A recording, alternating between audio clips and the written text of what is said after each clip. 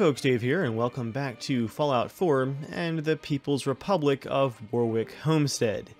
This is the communist theme settlement that I've been working on for the last couple of weeks, and last episode you guys got to chime in with all of your uh, Evil Red Menace suggestions, one of which came directly from you guys over on my Discord channel, and that is a new flag just for the settlement. I had the basic Red Army flag originally, uh, set up here, but there's more of a Chinese communism tint, uh, Maoist communism uh, leaning to this settlement. So it didn't quite feel like it fit in, and the Duke over on my Discord channel mocked up this really cool design, which you guys can see has the classic uh, communist sickle, as well as some waves for this being a coastal settlement.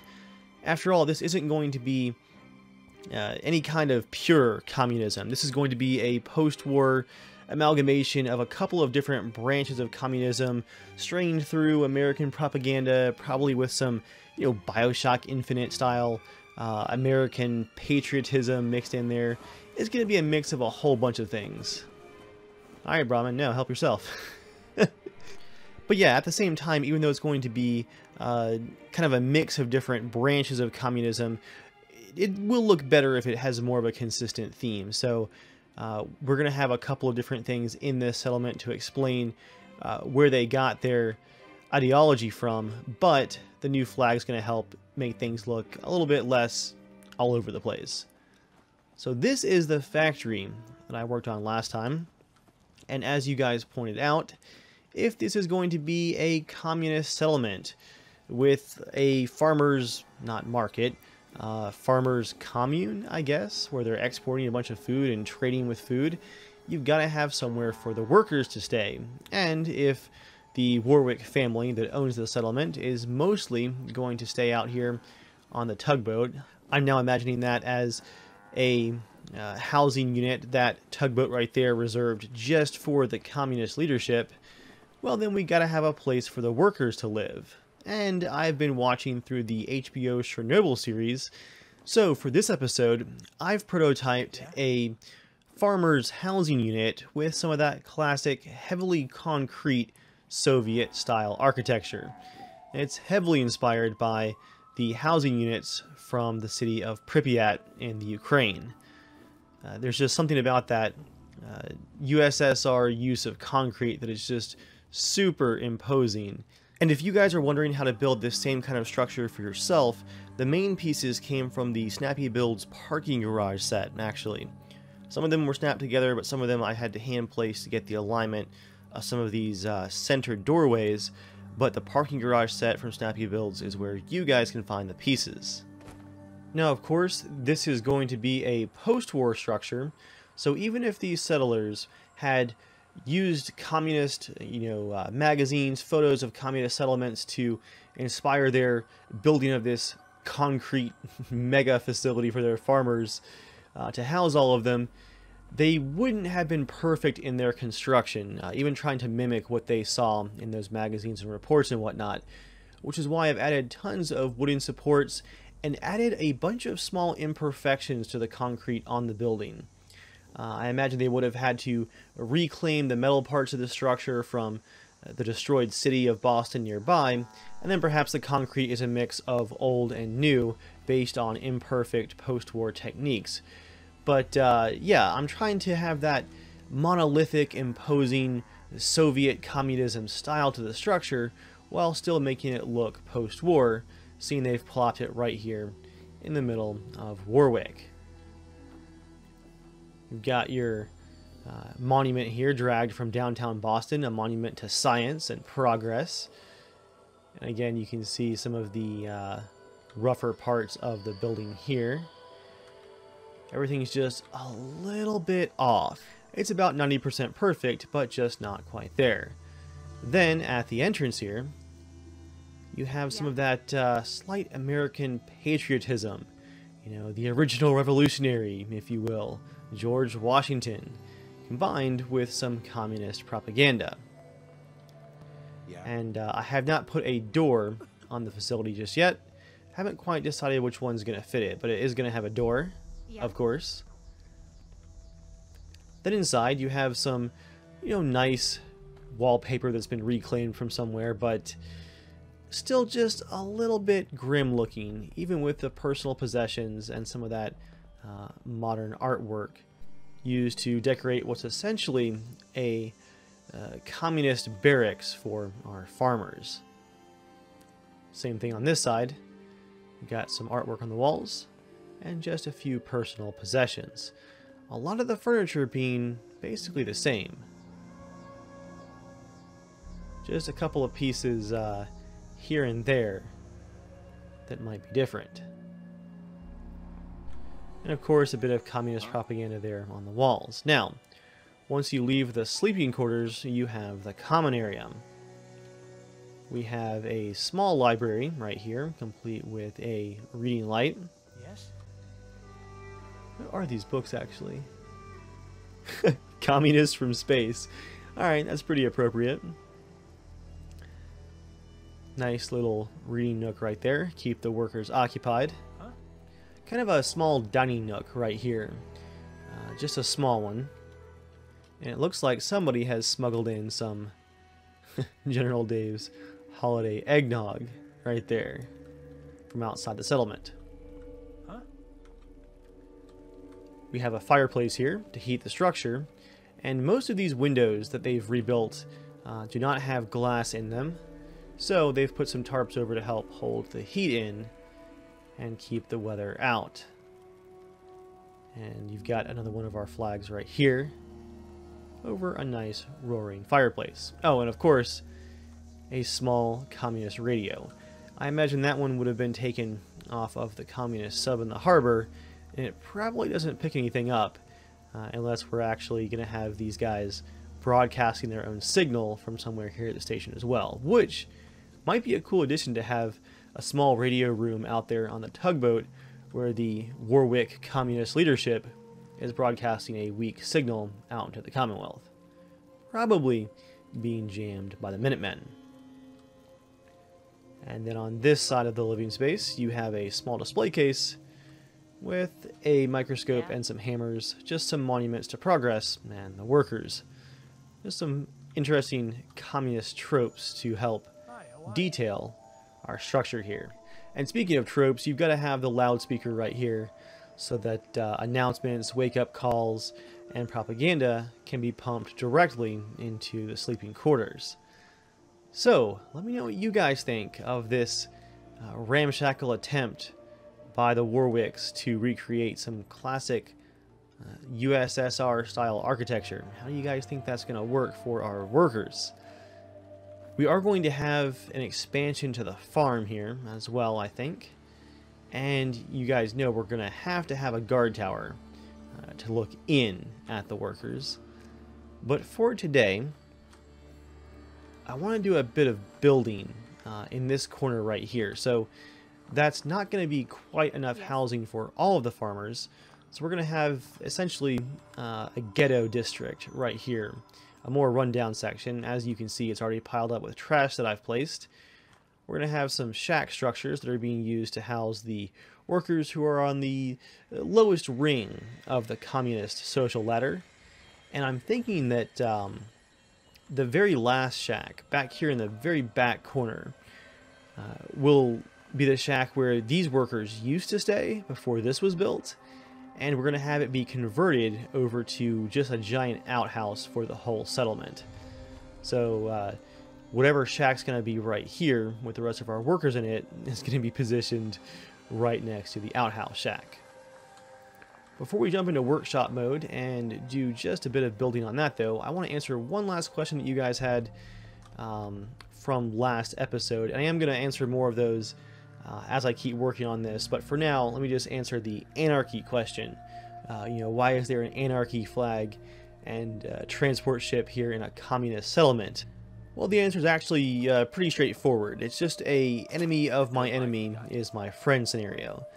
Uh, the Minutemen don't want to have these uh, Pleasure Island boats docking at Minutemen settlements, and because the Minutemen uh, do control uh, most of the coast, this is one of the few settlements where ships from Pleasure Island can successfully uh, dock. So, The communists definitely don't uh, endorse the island, which is, as you guys pointed out, basically a hotbed of the worst kind of capitalism, but they do allow the transport ships to dock here, probably in exchange for uh, resources and uh, propaganda purposes as well. I'm sure that there's going to be some uh, advertisements on the no holds barred Pleasure Island for Warwick Homestead and their communist ideals. So, just a bit of a symbiotic relationship there.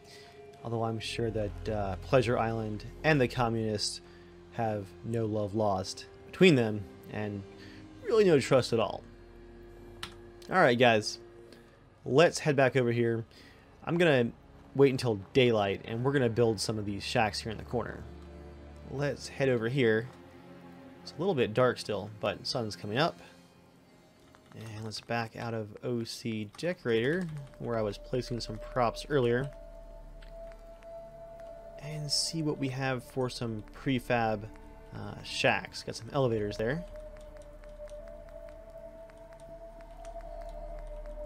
Let's see. Some shack pieces. What mod added the complete shacks?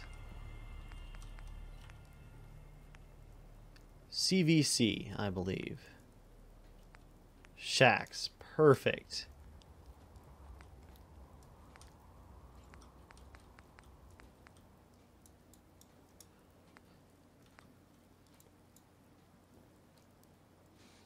Ooh, this metal shack right here, I think would be a near perfect base for a uh, farmer's market.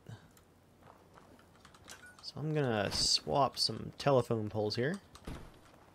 Keep calling it a farmer's market. Farmer's co-op. There we go. Gotta get that uh, communist terminology going.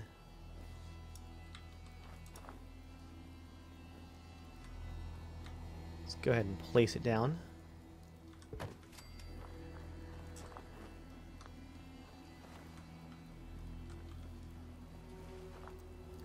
That is a very solid start. For our housing shacks, though, we'll have maybe this one right here. How far can that go back? A little bit more. I have to move our wood pile back just a bit as well to clear up the walkway.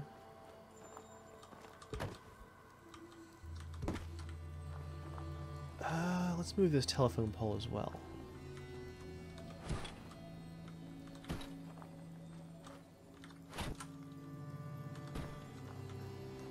So this will be a shack where people are still living because our new barracks does not have enough room for them. And we're going to have something here in the back uh, that's going to be a rundown ramshackle shed, which will have been converted to our outhouse. These are some really, really cool shack structures, though. I'll also show you guys, I've resealed the fences that I removed back here among the water tanks. It's light protection for this settlement. They definitely don't have the uh, General Dave level of walls to protect it, but with these spikes on the other side of the chain link fences, that's not bad for protection. Not bad at all.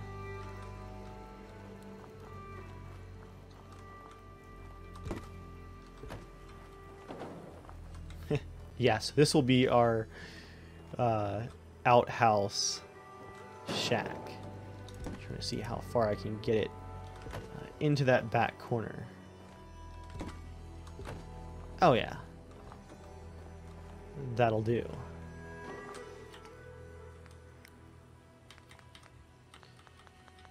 Now we do have some bathrooms uh, somewhere. Is it furniture and uh, miscellaneous, or perhaps resources miscellaneous?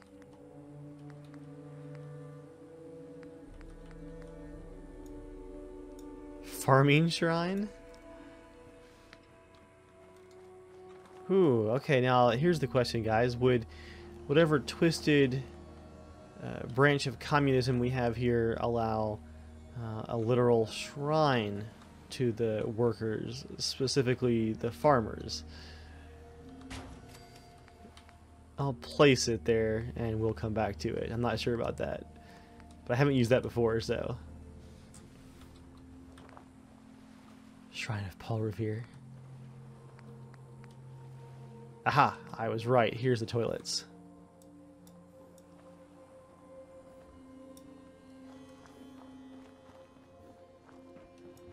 So I will place one of these up here. And we'll do it uh, where it is on this platform right here.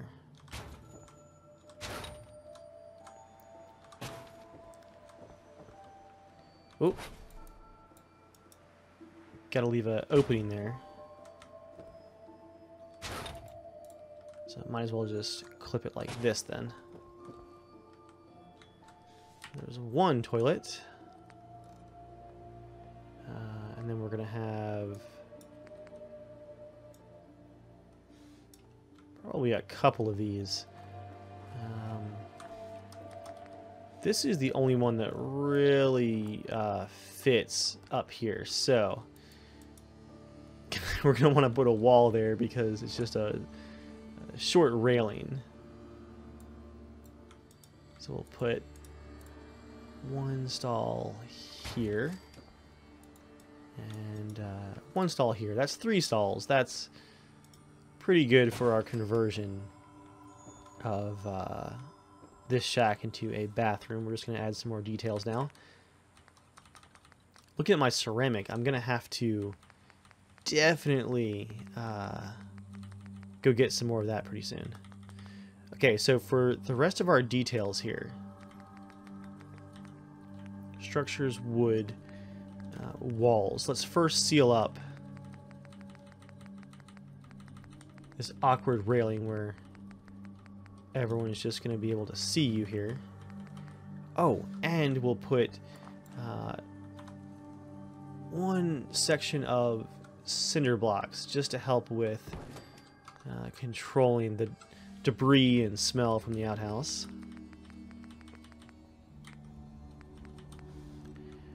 We go. Small shack wall. Oh, look at that. Even snaps. I think if I remember this correctly, if we go to furniture, uh, the toilet mod, yes, I have a toilet mod. Immersion requires 100% realism. Accessories, there we go.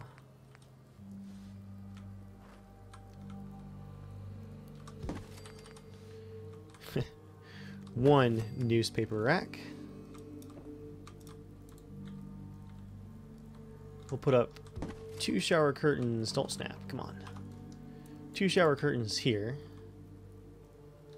to rather awkwardly divide the stalls. And we'll have one curtain for that stall. Come on. And a curtain for uh, this stall as well.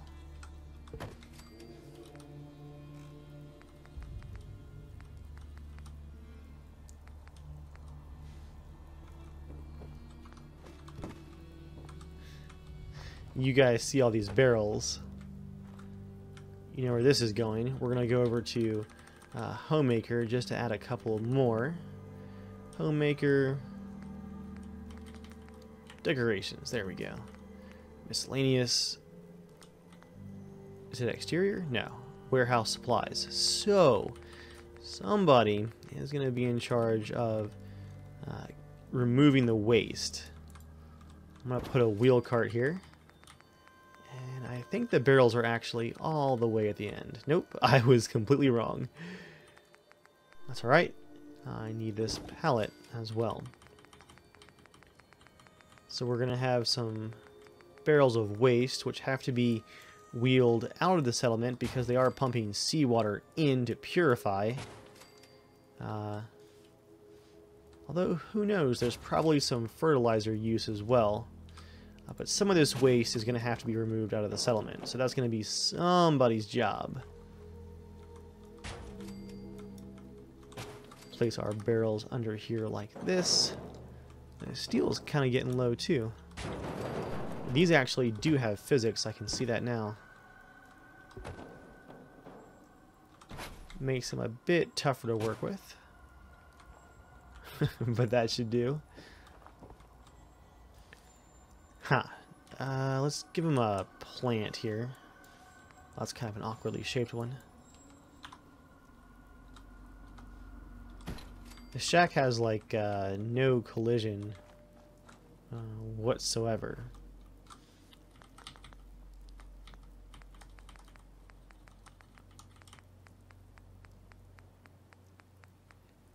Now for the lighting, I don't think an electronic light would make a lot of sense. This is supposed to be the, no pun intended, I guess, bottom barrel uh, shack that people used to live in. And now it is just the outhouse. So we'll give them a couple of candles. Is that the only kind that we have? Got a wall hanger one here.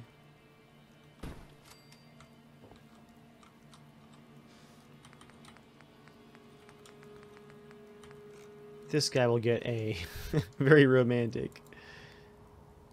This guy, this stall will get a very romantic uh, wine bottle candle right there. We do also need a basic wash basin someone's going to have to empty the water out of this as well because uh, sticking with that uh, poor shack theme going to have no water hookups directly to it. But there's our outhouse. Hey, sorry guys the weather is just not cooperating in game right now. Let me try to skip time again. It is loving this rain. Okay there we go that's going to be it for today. I'm going to have this one be a little bit more uh, reasonable of a length to edit. The last video was, I think, like three hours of footage I had to cut down. So let me know what you guys think of our uh, workers' barracks and the Pripyat-inspired architecture. Should I continue that style, guys, for the soldiers' barracks, and where should that be? Uh, I am thinking possibly about having it be up here in this container, uh, perhaps clearing out a few things from up here because they also would want to protect this extra water purifier. This might make a good little military barracks. What do you guys think? For now, hope you guys enjoyed. Thank you all for watching, and I will see you all next time.